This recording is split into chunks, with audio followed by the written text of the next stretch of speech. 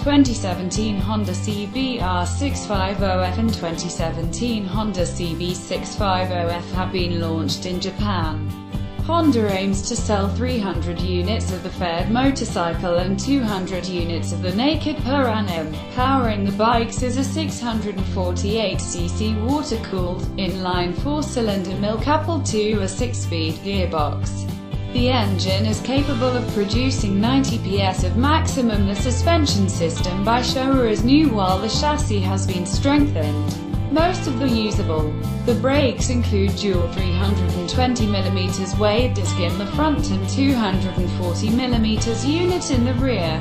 ABS is standard in both the 2017 Honda CBR 650F and Honda CB650F.